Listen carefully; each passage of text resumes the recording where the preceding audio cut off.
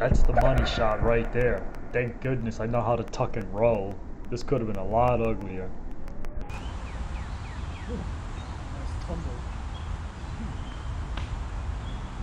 Tale of the tape for this line. This jump's about three and a half feet tall.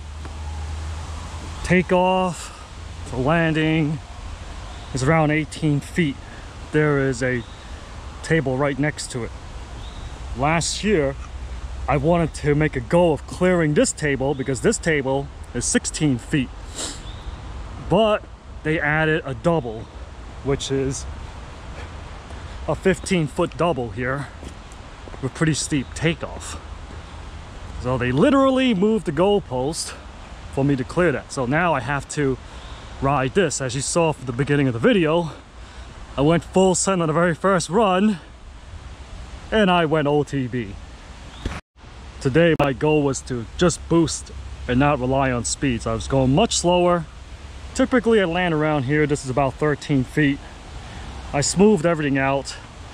Boosting, I was actually going much slower. I was hitting about 16, 17, and I actually a handful of times got the wheel to the landing, which is about 18 feet. So not bad. I actually didn't expect to go that far already.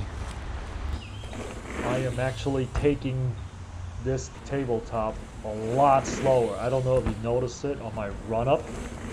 I'm not even throwing in a pump down the rollers in front of it.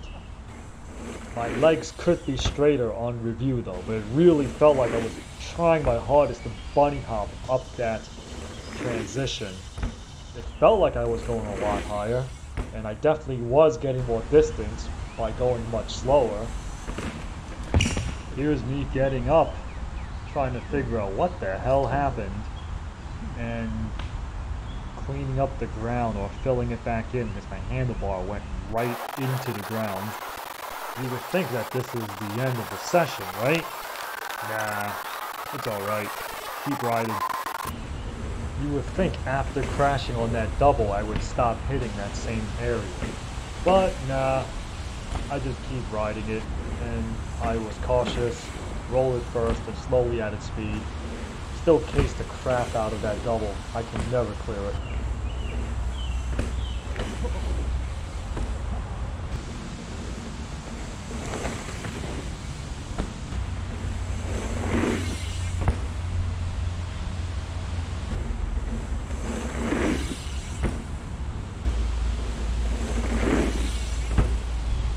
Now here's me doing some bar turns and a whip at the end of the session.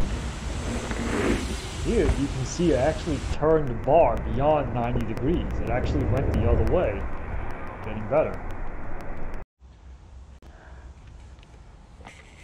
Dropping. Well, that's it for now. Thanks very much for watching.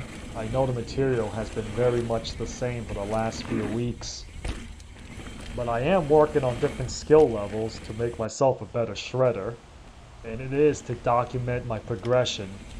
Hopefully next year when I look back at where I am this year, I will see how far I have come. But thanks for coming along with me. Bye.